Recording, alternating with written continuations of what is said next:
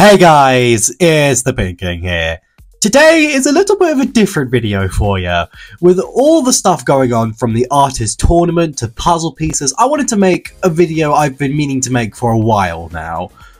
But what is today's video about? Well, for context, as Helluva Boss has been expanding with more episodes, I have been one of the more critical content creators, you could say, reviewing this show, with a large criticism I've had with the show being its inconsistent art direction. Specifically, how the show often fails to making character designs that feel fluid and genuine rather than abominations.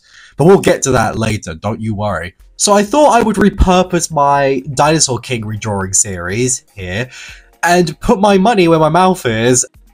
I'm going to redesign two characters from Helluva Boss to show that what I've been saying in terms of bad designs is valid, and also just a little fun excuse to draw some characters. So yeah, don't take this video as me saying uh, I'm a better than the creators of the show, or me saying that I could do better than the creators of this show. Don't take it like that, because it's not. This is rather a sort of proof of concept, if you will. The show could do a lot better than it currently is. Now, before we begin, all I ask you is that you subscribe. Come on, subscribe and like this video. My goal is to get to 5,000 subscribers by the end of this year. We are so close to that goal. We're close to 4k. Just one more k to go. And with your help, we can definitely achieve this. So, you want more videos like this? Then subscribe. That's all I ask. Just subscribe. And with that, let's begin, shall we?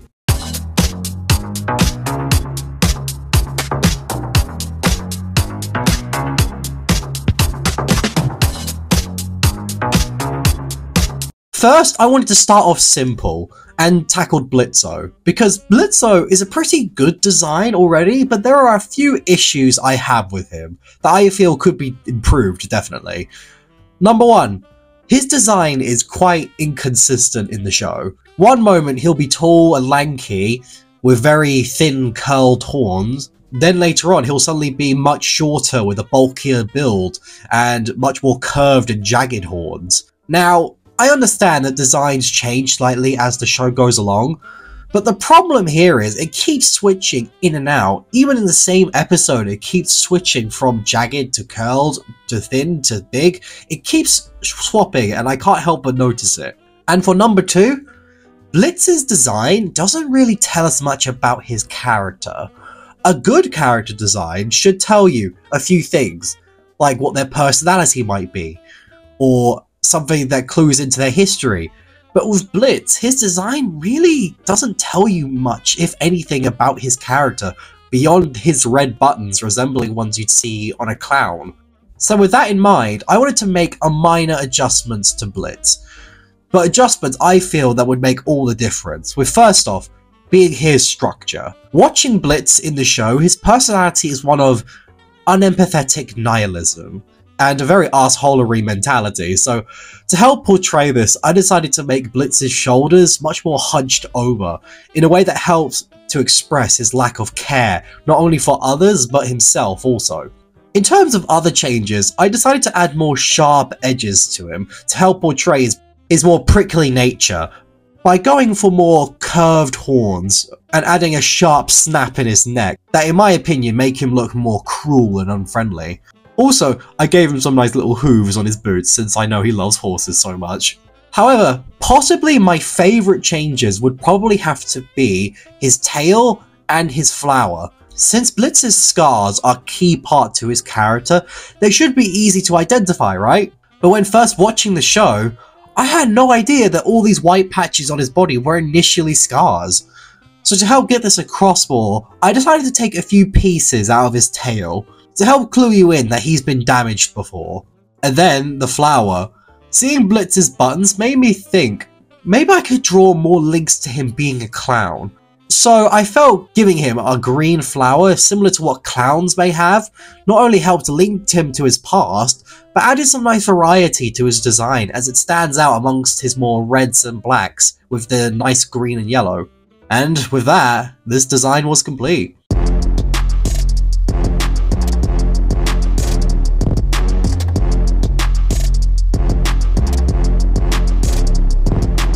Now I know the changes here were minor, but I think it turned out fantastic. To me, it helps portray who Blitz is way more than his original design, while maintaining his recognizable silhouette. But ultimately, it's you guys who are the judges here, so tell me in the comments, what do you think of Blitz's design here? And did I improve it or did I ruin it? Let me know in the comments, I really want to know this one because I think I improved it. I'm going to pat myself on the back.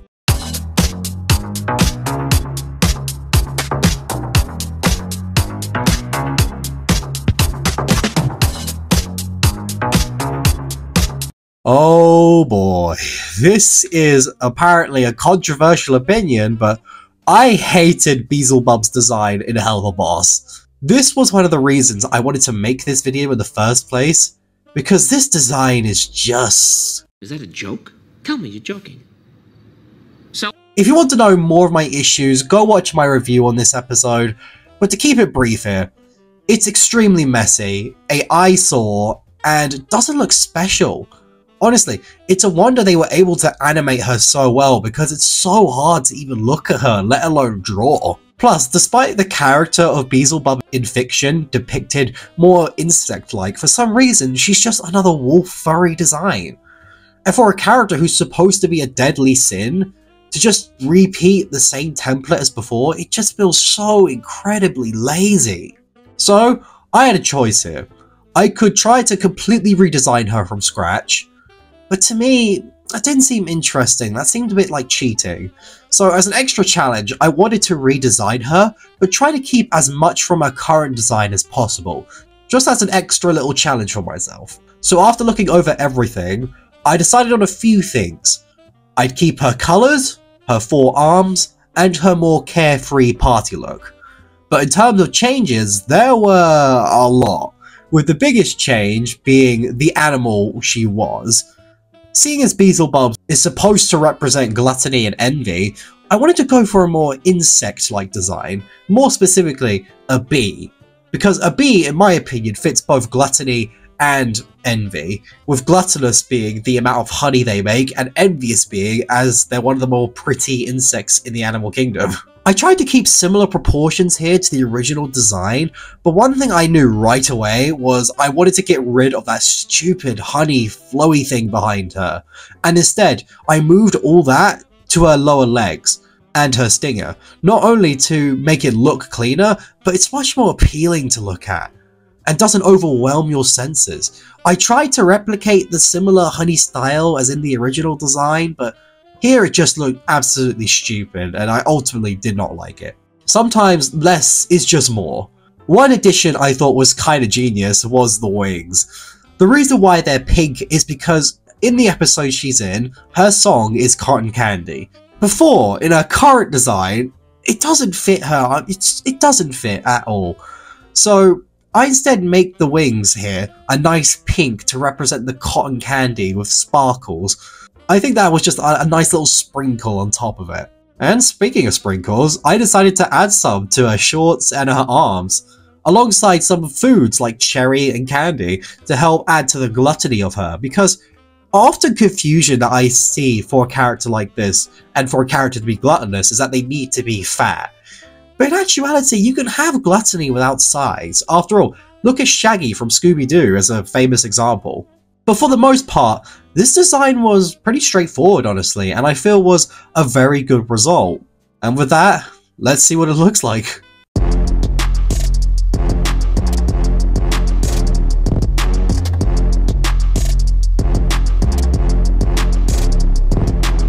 Now, already, I feel this is a massive improvement. It keeps the same concept as the original, but portrays it in a new way that's more logical and pleasing to look at. I feel it captures both the carefree party girl and also the power of a sin, something akin to Asmodeus in the show, who was a big influence on the redesigning of Beelzebub here. But again, what do you guys think of her redesign?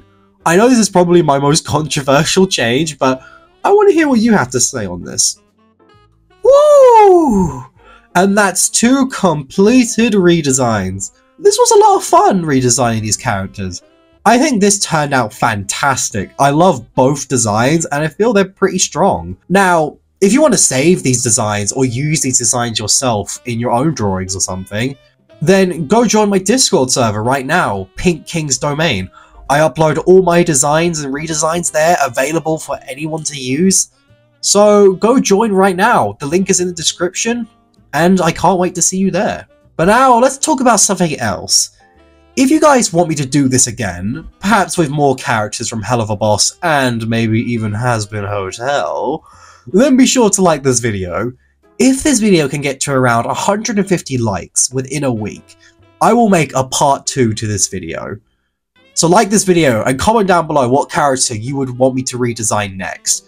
And who knows, maybe your comment will be featured in part 2. And with that, I will see you all next time.